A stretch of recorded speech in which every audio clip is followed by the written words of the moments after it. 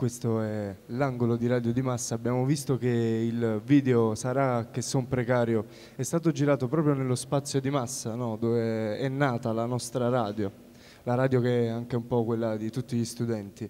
E dallo spazio di Massa si è trasferita allo spazio di Massa Reloaded con una nuova occupazione dove abbiamo la nostra regia e dove va in onda il nostro palinsesto diurno, mentre quello serale lo possiamo ascoltare dalla regia del laboratorio occupato SCA, che si trova nei pressi di Piazza del Gesù. Esattamente.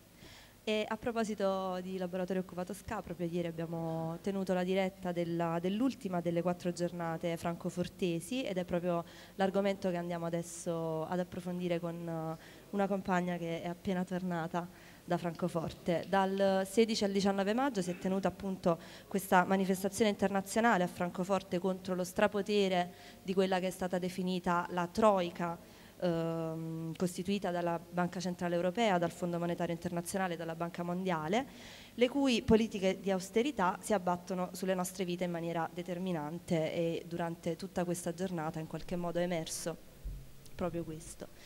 È stata una manifestazione contrastata su tutti i fronti da una macchina repressiva messa in campo in maniera assolutamente spropositata ehm, sin dal primo giorno, ma che si è conclusa ieri con una manifestazione che finalmente è riuscita a sfilare nonostante i divieti imposti. Eh, brevemente su questo movimento, leggiamo in giro che si tratta del risveglio eh, del movimento Occupy dopo l'inverno, Uh, che prende le mosse dagli Indignados nel maggio 2011 uh, eh, e che uh, si distribuisce presto in tutto il mondo sfociando in movimenti cardine come quello di Occupy Wall Street, tutti ispirati alla primavera araba e mh, insomma questo preambolo è per dire che appunto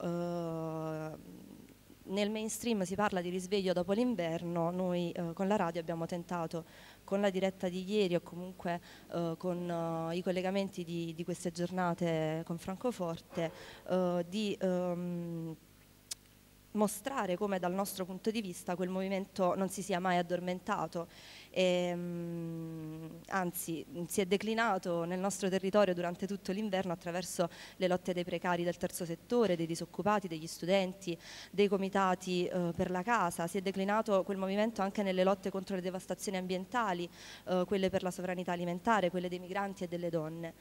Movimenti questi che non... Uh, non nascono con l'occupy degli hashtag, delle tende o di Zuccotti Park, ma che si inseriscono in quel percorso ehm, per quello che riguarda la denuncia alle politiche di austerity delle banche, che si traducono in smantellamento del welfare, continua precarizzazione delle nostre esistenze e eh, sfruttamento crescente. E allora Francoforte, luogo simbolo del capitalismo europeo. Um, siamo con Serena che è tornata ieri e alla quale domandiamo una breve cronistoria magari delle giornate che lei ha vissuto lì. Sì. Allora, ehm, prima giornata di chiamata internazionale contro le politiche di austerity, appunto, ehm, queste quattro giornate sono state diciamo non quello che ci aspettavamo, nel senso che eh, il, il, clima di repressione è stato subito avvertito da quando siamo arrivati proprio a Francoforte il dispiegamento del, delle forze dell'ordine era veramente eh, sproporzionato rispetto anche proprio al numero di, di, persone che affluivano a Francoforte, nel senso che poi le persone da tutta Europa sono arrivate a Scaglioni e mh, mm, il secondo giorno dei pullman che dovevano arrivare dal resto della Germania e dall'Italia hanno anche avuto difficoltà proprio a entrare nel territorio francofortese per... Uh, eh, blocchi hanno subito la polizia, in alcuni casi rischiavano l'espulsione proprio dal territorio francoforte, alla fine se la sono cavate con, con, un DASPO, insomma, quindi con un divieto di poter accedere alla zona di Francoforte, cosa che un po' tutti i manifestanti poi hanno diciamo, subito durante, durante le varie giornate. Um, la prima giornata era iniziata con un'accampata fuori la, la, zona della BCE che è stata dopo poche, poche ore sgomberata e mm, in seguito si è, vabbè, ci si è riuniti in una delle, delle varie assemblee che insomma, sono state fatte per, per organizzarsi. L'organizzazione cambiava spesso perché appunto la polizia in qualche modo cercava subito di spegnere qualsiasi fuoco eh, metaforico si potesse cioè, potesse diciamo, eh, crearsi nella città, per cui era necessario proprio ora dopo ora cambiare un po' i programmi che poi venivano sempre repressi. La sera della prima giornata era previsto un, un, rave, cioè una sorta di festa in una piazza per riappropriarsi appunto del luogo, era una, una serata doveva essere festosa con musica eccetera, ma dopo, poche, dopo pochi minuti già era stato circondato dalla polizia e quindi diciamo, non è stato possibile portarlo avanti. Il secondo giorno era prevista una manifestazione che dovesse culminare nella piazza del municipio Paul Platz e che partiva da due punti neuralgici della città, Università, dove si trovava lo spezione anticapitalista di cui facevamo parte anche noi italiani, che eravamo in, numero diciamo, notevole rispetto anche ai stessi tedeschi che erano lì, e secondo spezione che doveva partire invece dal municipio. In entrambi i casi abbiamo subito una forte repressione, nel caso dello spezione del municipio più o meno diciamo, i numeri erano eh, abbastanza per far sì che in qualche ora si resistesse. Nel caso della, diciamo, dell'ospezione da parte dell'università, dopo pochi minuti siamo stati accerchiati dalla polizia, la quale ci ha intimato diciamo, di, di, raggiungere una negoziazione per fare sì che si raggiungesse il, diciamo, il punto nevralgico a piccoli gruppi, perché era stato dato questo divieto di eh, girare per, in più di 10 persone alla volta. E infatti anche le guide turistiche erano negate in quei giorni. Comunque non abbiamo avuto nemmeno il tempo di decidere se negoziare o meno perché dopo poco ci hanno detto che eh, eravamo, cioè, dovevamo essere tutti quanti identificati e perquisiti e ci sono stati moltissimi arresti diciamo ingiustificati senza nemmeno un criterio. Tra l'altro poi il trattamento era proprio ad personam, nel senso che le, le, varie misure repressive che abbiamo subito erano veramente cucite addosso ma senza nessun diciamo, motivo apparente. Il terzo giorno, che doveva essere il giorno proprio delle azioni diciamo, del Bloccupy, appunto, ehm, diciamo, ha visto una serie di azioni, però anche in questo caso molto deboli, molto flebili, perché veramente eh, era impossibile raggiungere qualsiasi punto, che già si trovava la polizia lì in, in numeri giganteschi, questi caroselli che passavano 20 camionette alla volta con le sirene accese. E infatti anche in quell'occasione io personalmente sono stata di nuovo identificata, ma eravamo veramente, penso manco un centinaio su questo punto a fare una samba band, ma la polizia ci ha anche in quel caso diciamo, eh, represso. E, e, poi vabbè, finalmente sabato si è riuscito a fare il corteo, un corteo molto partecipato, si è parlato di, cent- di centinaia di migliaia di persone.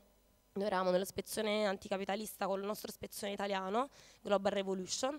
Siamo riusciti a circumnavigare la zona, la zona rossa, ma mai a diciamo, a valicarla anche perché veramente c'erano posti di blocco ovunque, quindi era proprio impossibile pensare di, di attraversarla. Tuttavia però l'obiettivo di bloccare il quartiere finanziario in qualche modo comunque è riuscito sì. perché tutto questo dispiegamento delle forze dell'ordine ha fatto sì che gli uffici fossero chiusi e sì. gli impiegati dislocati in periferia per una valutazione complessiva tua personale della, dell'esperienza che hai vissuto lì?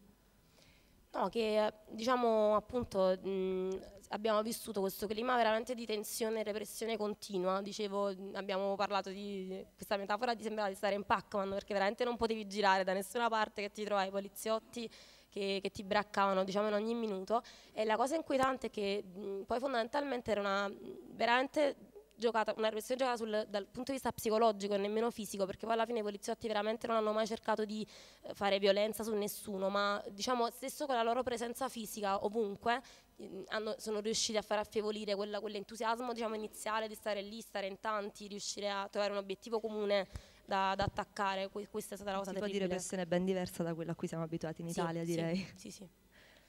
Ehm, quindi diciamo il c'è stato questo, questo, questa sensazione di, di, di, sentirsi sempre sotto controllo, sempre, però immagino sia, sia, arrivata anche tanta forza, no? ne, se, so che appunto tu sei stata identificata una volta, ti è stato detto mh, se ti ritroviamo ti arrestiamo e invece sei scesa comunque in piazza no, la seconda in volta. In effetti quindi... diciamo erano, credo, provvedimenti fake, nel senso che comunque mh, tutti noi abbiamo appunto ricevuto questo, questo, divieto di girare in determinate zone della città, però poi in effetti eh, non è stato mai seguito un protocollo tale che poi se ti ritrovassero effettivamente tu fossi arrestato, cioè nemmeno nel mio caso e comunque sono, la seconda volta sono stata identificata, avevo il DASPO, non potevo trovarmi in quel luogo, ma in effetti non, non è successo niente, quindi era appunto tutto quanto volto a terrorizzarti e quindi a, a farti chiudere in casa e non, non uscire. Insomma. Un'ultima domanda perché siamo un po' stretti coi tempi.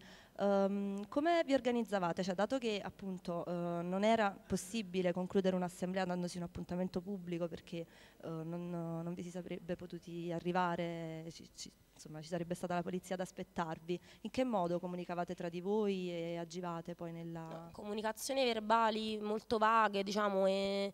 Ehm sì, che però in qualche modo venivano sempre poi rintracciate diciamo, dalla polizia e poi eravamo divisi sempre in gruppi da massimo quattro persone per fare in modo che comunque appunto non eh, potessimo essere fermati perché in più di, di dieci insomma. Capito, va bene, grazie, sei stata gentilissima. Adesso che ci sta? I papamimici.